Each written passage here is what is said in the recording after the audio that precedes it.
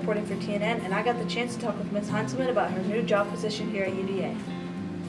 Ms. Heintzleman, how are you today? Good, how are you? Good, good. So I just have a few questions just to see how you're liking your new job position here at UDA and just see what's going on. Okay. Okay, so the first question is, what do you like most about UDA?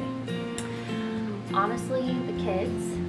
Um, I graduated from here in 2003, and I always enjoyed going to school here and then coming back um, and just coming to school every day and seeing the teachers and how amazing they are with the kids and how much the kids love coming to school because of the teachers and also us in the office because we're so cool. Yeah.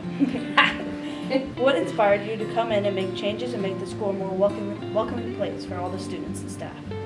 Uh, so I was looking for a career change, and this popped up on Facebook of all places. And my husband told me that he thought it would be the perfect uh, career change for me.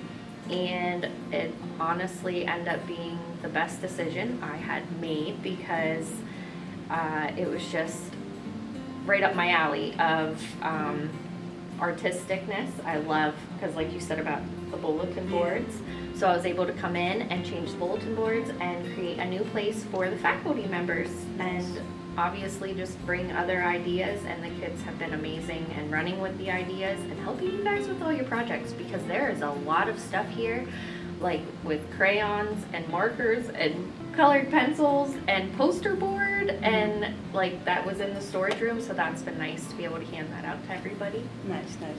All right, one last question.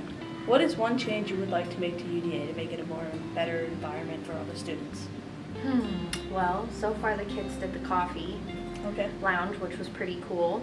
But um, it would probably be nice to see the gazebo get used again. I know there were reasons for that because of safety, but in my mind, I would love to see that get used again because I know we put the picnic tables out there, and I remember we used it whenever I was in school, like graduation day. All my pictures are taken out Okay. there because it rained, but then it stopped raining. Okay.